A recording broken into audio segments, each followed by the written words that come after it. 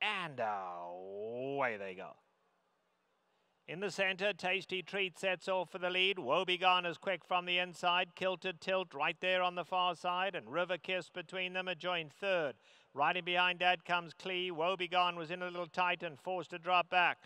Blushing Martha is third last. Only four off these leaders. Then comes Lemon Hero. And last of all is Avaruski.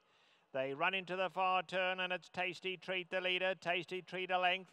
In second is Kilted Tilt. On the inside comes River Kiss. Up alongside is Glee. Alongside of Glee, Blushing Martha's in contention too. Woebegone drop back six. They coming to the top of the lane now and Tasty Treat kicks on for home. Tasty Treat the leader.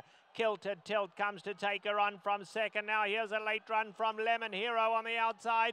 Lemon Hero coming fast, but Tasty Treat's hanging on to it. Here's Kilted Tilt with a late run. Tasty Treat to win it. Tasty Treat a driving finish. Tasty Treat won it.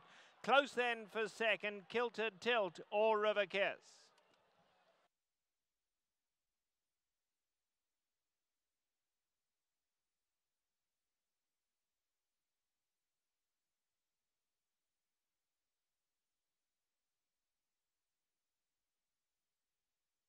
Now entering the Woodford Reserve Winners Circle, number four, Tasty Treat.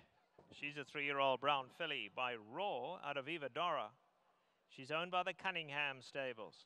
The winning trainer is Mike Pender. The winning rider, Martin Pedroza. Tasty Treat was bred in California by John Greeley III.